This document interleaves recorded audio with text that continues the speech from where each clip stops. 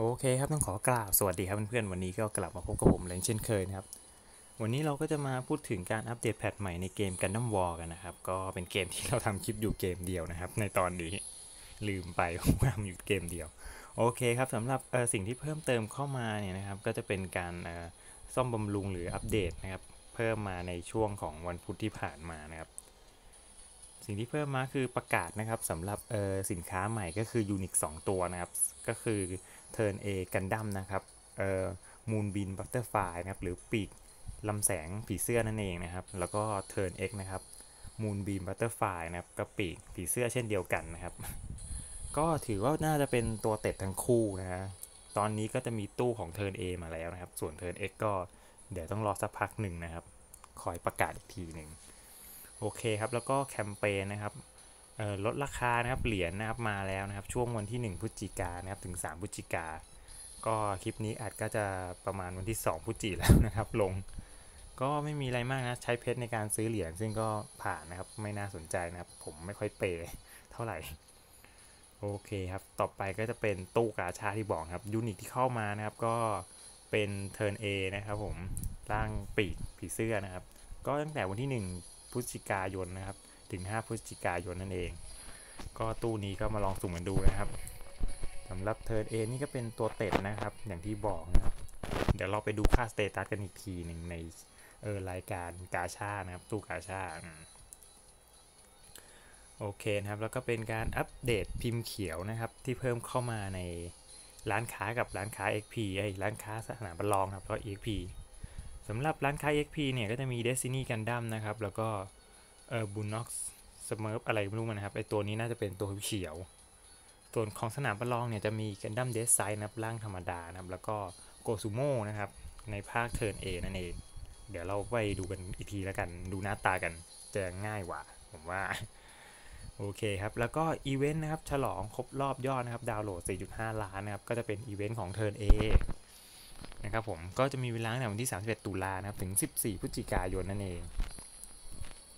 สำหรับอีเวนต์นี้ก็จะมี unit พิมพ์เขียวฟรีนะครับ ให้เราเก็บกัน ก็จะมีเจ้ากระปุกนะครับ หรือกาปูเออกระปุกอะเรียกกระปุกแล้วกันนะครับเมื่อกี้มันอ่านว่ากาพูอ่าแล้วก็จะมีท่าไม่ตายนะครับเอสเธอท่าไม่ตาย ACE หรือเอนะครับ ของเทิร์น A กับเทิร์น X ด้วยในร่างปีกผีเสื้อทั้งคู่เลย นอกจากพิมพ์เขียวของเออกาปูแล้วเนี่ยก็ในข้อมูลจะมีพิมพ์เขียวรีบอลกันดั้มก็เป็นตัวที่ว่าตีแรงมากสมัยก่อน แต่ทุกวันนี้ก็ เก็บไว้ในคลังนะครับ แต่เก็บสะสมไว้ก็ดีตัวนี้ น่าจะใช้ได้สักวันหนึ่ง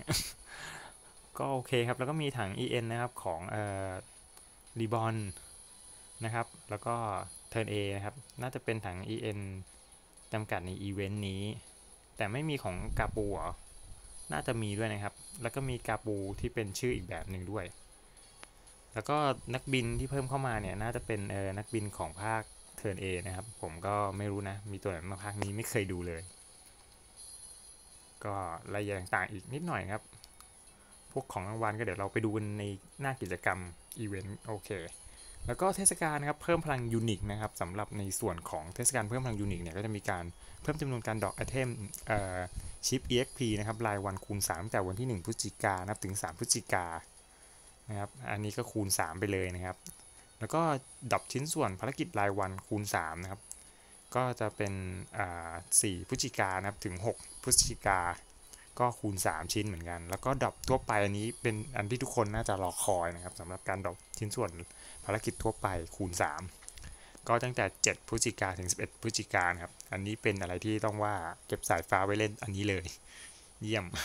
ประมาณนั้น ก็โอเคนะครับสำหรับการอัปเดตแพทเพิ่มมาใหม่ก็มี ประมาณเท่านี้นะที่ผมพูดไป ทีนี้เราไปดูเป็นรูปภาพกันให้มันหายคล่องใจนะครับ ก็ขอเริ่มจากตู้กาชานะครับ ก็คือเทิร์น A ก็สำหรับเทิร์น A เนี่ยก็สุ่มได้ครั้งละ 10 เม็ดหรือ 100 เม็ดก็ได้นะครับ เป็น 11 ครั้งต่อเนื่อง ก็แล้วแต่ดวงเพื่อนๆนะครับ ตอนนี้ผมมี 40 เม็ดก็อยากเก็บไว้ให้เทิร์น X ดีกว่า แต่เทิร์น X ไม่ได้ก็อาจจะตกใจ ช่างมันครับเดี๋ยวพูดถึงเรื่องไม่ได้ครับ มันช้ำใจมาเยอะครับสำหรับเกลือของผม โอเคครับ เทิร์น A เนี่ยเออมันก็นะครับเลือดหกหมื่นเอ้ยสองหมื่นหกเนี่ยไม่หกหมื่นโจมตีสองพันสามครับ ป้องกันก็สองพันถือว่าตีแรงพอสมควร ป้องกันใช้ได้ เลือดก็อยู่ระดับกลางๆ เกือบเยอะ ก็ถือว่าเยอะอยู่ แต่ยังไม่ใช่เยอะ โจมตีทุกตัวนะครับ ถ้าไม่ตายเขานะครับ แล้วก็ชะงักไล่โจมตีซ้ำมึนงงนะครับ ก็ไล่ตามเนี่ยร้อยแปดสิบเปอร์เซ็นต์เลย ถือว่าไล่กันจริงๆ จริงจังโจมตีเดี่ยวแนวหลังนะครับ ก็ตีแรงสามพันห้าอันนี้ก็จะเป็นโจมตีพื้นที่แนวหน้านะครับลำแสงนะครับไล่ซ้ำด้วยนะครับ ก็ว่ากันไปตัวนี้ไล่ซ้ำบ่อยแล้วก็มีเพิ่มพลังโจมตีลำแสงแยกล่าง เพิ่มพลังโจมตีลำแสงแล้วก็แยกล่างให้กับตัวเองนะครับ เพิ่มพลังให้ตัวเองนะครับ แยกล่างก็หลบศัตรูได้อีก โอ้โห จำนวนการหลบหลีกเนี่ยคือ 10 ครั้ง ถือว่าแนวหน้า มันอยู่แนวหลังนี่หว่าโอ้โหแต่มันหลบทำไม ก็ถึกไม่พอยังมีท่าที่ทำให้หลบได้ด้วยนะครับ อันนี้จะเป็นโจมตีก่อสภาวะฟื้นฟู HP ไม่ได้นะครับ ก็เป็นรอบด้านจริง ๆนะครับ เหมาะคือสมชื่อจริงครับสายรอบด้านตัวนี้ ถือว่าน่าสนมากอ่าน skill แล้ว เดี๋ยวรอดูครับอนาคต ต้องรอดูว่าเออคนที่ได้มามันใช้แล้วมันเทพแค่ไหน เดี๋ยวให้ว่ากันอีกทีครับว่าจะเปิดไหมแต่ 40 เพชรนี่มันก็นะน้อยไปนะ ผมว่าเปิดไปคงไม่หา เพราะมันได้มันก็ดีครับ แต่ถ้ามันไม่ได้มันก็ไม่รู้เลยโอเคครับทีนี้มาดูในเรื่องส่วนของร้านค้ากันก่อนแล้วกันนะก็จะมีสิ่งที่เพิ่มเข้ามานะครับ คือพวกพิมพ์เขียวนะครับ ก็เริ่มจากร้านค้า EX ก่อนแล้วกัน ก็จะมี Destiny Gundam นะครับ อย่างที่บอกนะครับในภาคซีดแล้วก็เป็นตัวนี้นะครับในภาคของซีต้านะครับ ใช่ไหมน่าจะใช่นะครับ ตัวนี้ก็จุดเด่นมันก็นะประมาณนี้นะ ก็ถือว่าเป็นตัวที่หาเปิดการ์ดไอ้เปิดตัวได้ด้วยนะครับ ทั้ง 2 ตัวเลย ก็จะซื้อเก็บไว้ก็ได้หรือยังก็ได้นะ แต่ผมรอเก็บพิมพ์เขียวเนกประสงค์ก่อนแล้วกัน โอเค ทีนี้มาดูอีกร้านค้าหนึ่งก็เป็น ร้านค้า arena นะครับ สนามประลอง unit ที่เพิ่มมาก็จะเป็นเหมือนกันครับ เปิดตั๋วได้ ก็คือโกซูโมกับ Death Gundam Deathscythe ก็ 2 ตัวนี้นะครับ เลือกเอาเลยครับ โอเคทีนี้เรามาพูดถึงด้านกิจกรรม อีเวนต์ฉลองครบรอบ 4.5 ล้านกันบ้างดีกว่าครับ ก็ในส่วนนี้นะครับ ก็จะเป็นอีเวนต์เหมือนเดิมนะครับ เก็บแต้ม แล้วก็ไปตีกับ boss สำหรับด่านเนี่ยจะแบ่ง part ปกติเนี่ยจะมี 5 ระดับนะครับไอ้4ระดับนะครับ ระดับละ 3 ด่านนะครับ เหมือนกันหมด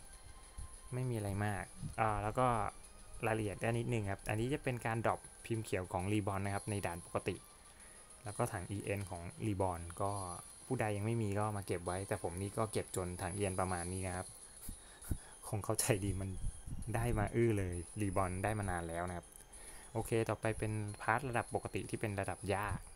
อันนี้ก็จะเป็นการ drop นะครับสำหรับกาพูนะครับ ผมอ่านชื่อมันถูกว่าไม่แน่ใจนะครับแต่เรียกเป็นกระปุกแล้วกัน น่ารักดีตัวนี้ ก็โอเคนะเป็นพิมพ์เขียวของตัวนี้ครับ แล้วก็ถัง EN อ่าก็มาลอง drop กันดู แล้วก็มีชิ้นส่วน item หายากมั้งนะเนี่ยอันนี้หายากหน่อยแปดอันนี้ 40 ก็แล้วแต่เพื่อนๆครับลองมา drop กันดูในเรื่องของอพิมพ์เขียว นอกจากเออ drop ในระดับโหมดปกติเนี่ย ระดับยากได้นะครับ มันก็ยังมี drop ในระดับ เออเขาเรียกว่าไป drop ในโหมดบอสระดับปกติอีกทีหนึ่งเดี๋ยวพูดกัน ทีนี้ด่านอันติเนี่ย ผมว่าง่ายไม่ยากครับก็ทีเดียวผ่าน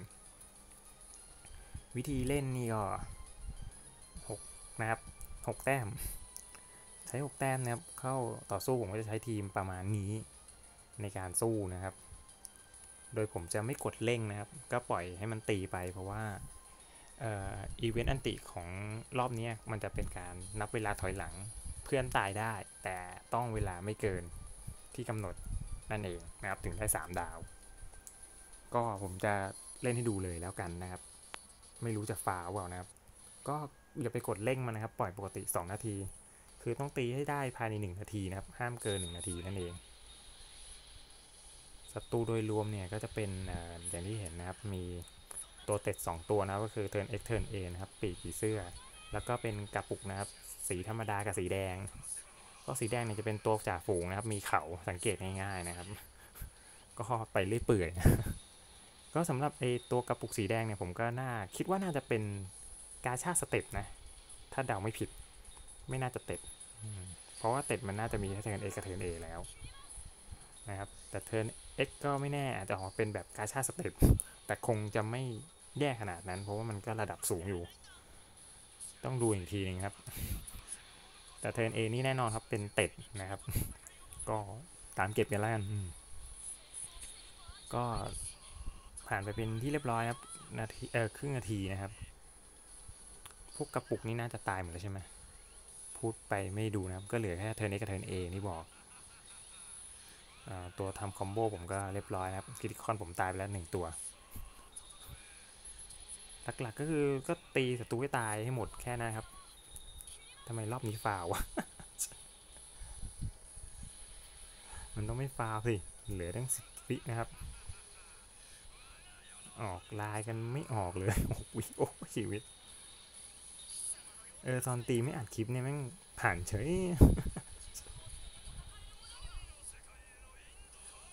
อัดคลิปแล้วก็เป็นอย่างนี้นะครับ ทุกทีเลยนะครับ ไม่เข้าใจนะเวลาอัดคลิปทีไรมันก็ฟาวทุกที ก็ประมาณนี้ครับก็ผ่านได้นะครับ จัดทีมแบบนี้ง่ายๆ ผมรู้ละทำไมผมฟาวผมน่าจะใช้ยานผิดลำ จริงๆไม่เกี่ยวมันใช้ลำนี้ก็ได้นะแต่ก็ลำนี้ก็ได้นะครับ เติมเลือดได้เหมือนกันครับ ก็ยืนได้นานขึ้น ก็ประมาณนี้ครับ ยังไงก็ผ่าน 3 ดาวครับ ถือไม่ยากครับ เอาตัวตีแรงไปครับ มีตัวบัฟป้องกันด้วยก็ดี ได้ยินกันนานๆนะครับ อะไรประมาณนั้น หรือไม่ก็ใช้ตัวที่ดึงมาแนว เออ ดึงขึ้นหน้ามานะครับ ดึงขึ้นหน้าหมดแล้วก็รวมตีทีเดียวก็ได้จะได้ครับอันติไม่ยาก โอเคครับ ทีนี้เราก็มาดูอันที่ part ระดับยากนะ อันนี้เป็น part ท้าทายนะครับ มีระดับง่ายกับระดับยาก ระดับง่ายเนี่ยก็อย่างที่บอกครับ drop สามารถ drop กระปุกได้นะครับถ้าเป็นแบบคูณ 2 ก็ได้2อันแต่ปกติแล้วตีครั้งเดียวก็ชนะนะครับ ได้ 1 ชิ้นอยู่แล้ว ก็เก็บแต้มสายฟ้าเยอะมาตีนี่ก็ได้ หลังจากตีบอสได้สำหรับบอสระดับ hard เนี่ยจะเป็นเทิร์น X กับเทิร์น A อย่างที่บอกครับ ยากโคตรครับ ตีได้แค่ 10% 15%ไม่ขอได้ให้ดูครับอนาตัวเอง คือเป็นอะไรที่ยากมากตัวนี้กว่าจะตีผ่าน 3 ดาว ไอ้กว่าจะตีผ่านได้นะครับ มันคงไม่นับดาว ก็10นะครับทีละ10%เปอร์เซ็นต์เนี่ยผมใช้สายฟ้าไปเปลืองมากเลยกว่าจะชนะ ก็สำหรับอย่างที่บอกครับระดับยากเนี่ยไอ้ท้าทายที่เป็นระดับยากเนี่ยเพื่อนๆก็แนะนำหน่อยมีวิธีตีมันได้แบบแบบว่าเลือดลดเยอะๆไหม เพราะว่ามันฆ่ายากมาก โอเค ทีนี้เรามาดูในเรื่องของรางวัลผ่านด่านเนี่ยนะครับ ก็ไม่มีอะไรครับแค่ไม่มีอะไรเวอร์วัง ก็เพชรแค่นั้น 1 เม็ด ส่วนระดับยากใน part ปกติก็ได้พวกกระปุกมานะครับ แล้วก็เพชร แล้วก็อันติเนี่ยก็จะได้เป็นรางวัลเป็นการผ่านด่านเนี่ย เป็นปีกเขาเรียกว่าอะไรท่าเอกของเทิร์น X ไอเทิร์น A ถ้าเป็นระดับยากเนี่ยก็ไม่ได้อะไรนอกจากกระปุก แล้วก็แต้ม 500 กับเพชร 3 เม็ด ก็ไม่ได้อะไรมากมาย นะครับประมาณนี้แล้วก็ทีนี้เรามาดู EP นะครับแต้ม EP ที่รวมแล้วได้สูงสุดเนี่ย รอบนี้เขาเอากันประมาณ 50,000 50,000 แต้ม ถือว่าเยอะนะแต่ไม่น่าจะเท่าไหร่ผมหมื่นเจ็ดไปแล้วนะ ไม่กี่วัน น่าจะได้อยู่สำหรับรางวัลที่น่าสนใจใน EP เนี่ย ที่ทำแต้มได้นะ มันก็มีหลายชิ้นเลย หลักๆเนี่ยให้ความสนใจนะ ผมจะให้ความสนใจที่เออพิมพ์เขียวนะครับ ถือว่าโอเค ตัวตัว3ดาวขึ้นไปก็โอเคครับลุ้นได้1ดาว เอ้ยได้3ดาวกับ4ก็แล้วก็1ดาวลุ้นได้แค่นี้นะโอเคครับ แล้วก็มีพิมพ์เขียวให้อีกใบนะครับ เป็น 2 ใบทีเดียว แล้วก็ถัง EN Turn A Turn X นะครับ เป็นถัง EN แล้วก็ตัวกาชาตีดาวนะครับ ขึ้นไปอันเนี้ยน่าสนใจ นี่ 27 ใบแล้ว เยอะแล้วผมว่าควรเปิดได้ละ แล้วก็ถ้าไม้ตายเอกนะครับของ Turn X เออถูกแล้ว Turn X นะครับ ก็มาดูกันมีอะไรเอ่ยไล่ตามมันเป็นอะไรไล่ตามอย่างเดียว ของรางวัลที่น่าสนใจก็จะเป็นพวกนี้ประมาณนี้ครับแล้วก็มีพิมพ์เขียวให้ใบหนึ่งเป็นสามใบ ถือว่าเป็นการแจกพิมพ์เขียวที่เรียกว่าว่า work ดีนะแจก item อะไรที่มันแบบว่าต้องการใช้กันจริงๆอย่างพิมพ์เขียวเงี้ยมันเป็นอะไรที่ดีนะ คือเราต้องการใช้ ควรจะแจกแบบนี้บ่อยหน่อย นะครับ ก็ประมาณนี้ส่วนเรื่องของคำสั่งเนี่ยเราไม่ดูนะ เพราะว่ามันก็ตีผ่านก็คือจบไป ไม่มีอะไรมาก เพราะว่ามันก็ตีไล่ตามแต้มเก็บของ EP อยู่แล้ว อย่างที่เราดูไปเมื่อกี้ว่ารางวัลแต้มเท่าไหร่ได้เท่าไหร่ ทีนี้เรามาดูการใช้ EP แรกของนะครับในร้านค้าของเขาอีเวนต์แน่นอนครับเพชรก็คูณ2นะครับได้ 5 เม็ดก็ 10 เม็ดนะครับก็ซื้อกันไปเลยนะเป็น 50 เม็ดแล้วเพชรผมตอนนี้ แล้วก็จะมีพิมพ์เขียวนับ1ชิ้นนะผมแลกไปแล้ว แล้วก็ถัง EN นะครับ ได้เอ่อสชิ้น ได้หมด 15 ชิ้นเด็กเพราะมันถังละ 5 แล้วก็แลกเปลี่ยนความสามารถนี่ก็ 15 ชิ้นนะครับ แล้วก็มีเอ่อพิมพ์เขียวของกระปุกนะครับ ประมาณ 25 ชิ้นมั้ง เพราะมัน 5 คูณ 5 5 25 รีบอลก็เช่นเดียวกันครับ 25 ชิ้น แล้วก็ถัง EN นะครับ อันนี้มี 90 ชิ้นคูณ 5 ไม่ต้องไปคูณหรอกช่างมัน ไปคูณกันเอาเอง ชม เยอะไปครับ ตำแหน่งตัวเลขเยอะเราก็จะไม่พูดถึง แล้วนอกจากนั้นก็ยังมีอย่างที่บอกครับ มีเจ้านี่ครับ น่าจะเป็นตัวกาชาสเต็ปแน่นอนมั้งนะ คิดว่านะ แล้วก็พวกถัง EN ของ Turn X Turn A ครับล่างปีปีเสื้อ แล้วก็ถัง EN รีบอลก็มี นอกจากนั้นยังมีนักบินที่เป็นตัวเอกนะครับของภาค Turn A นะครับ มาด้วยให้ซื้อใช้ แล้วก็มีตัวร้าย อันนี้น่าจะเป็นตัวร้ายมั้งนะครับ อีกตัวหนึ่งเป็นชื่อกิมกังแมงไอ้เชี่ยอะไรอ่านยาก เนาะช่างมัน แล้วก็มีนักบินอีก 2 คนนะครับ ของภาคเทิร์น X พี่โผล่เข้ามา ไอเทิร์น A ติดเทิร์น X ไว้ อยากได้เทิร์น X ก็แล้วก็มีเอ่อกาโต้นี่เดี๋ยวนะ กาลอสนะ ไม่ใช่กาโต้ผิดไอนี่มีแล้วเป็นของตัวเก่านะครับ ไอ้นี่ก็น่าจะเก่าครับ คือผมคิดว่าแรกว่ามันน่าจะเป็นที่มือถือของผมเครื่องเก่านะที่ว่ามันกดนักบินไม่ติด นะครับ ในส่วนของเออตรงเนี้ยแต่มันกลายเป็นว่าไม่ใช่ว่ะ แม่งเป็นทุกเครื่องนี่เครื่องใหม่ก็เป็นกดไม่ติดเออโอเคครับ แล้วก็มีนักบินรีบอลนะครับผม นอกจากนั้นมีกาโต้เอาจริงเด็มีกาโต้สายถูเอาแล้วเว้ย มีกาโต้ ถูด้วยสายถู เก็บไปก่อนนะครับ ก็สำหรับวีด้านี้ขาดกาโต้ไม่ได้นะครับ แล้วก็พิมพ์เออไม่ใช่ครับตัวสามดาวขึ้นไป นอกจากนั้นครับจะเป็นชิ้นส่วนหายากมั้งนะครับตามนั้นแหละ จะเป็นพวกชิ้นส่วนหายากนะครับ ก็เนี่ยหายากนะอ้าวแรกเลยลืมคิด มันมีอันที่สำคัญกว่า อย่างนี้หายากกว่านะครับ ลืม